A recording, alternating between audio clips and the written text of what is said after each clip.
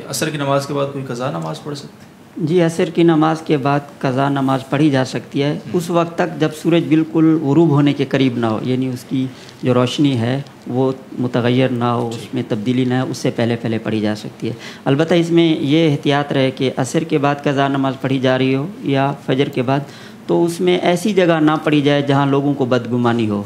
यानी देखने वाला ये समझे कि शायद ये नफल पढ़ रहा है इसको मसले का इल्म नहीं।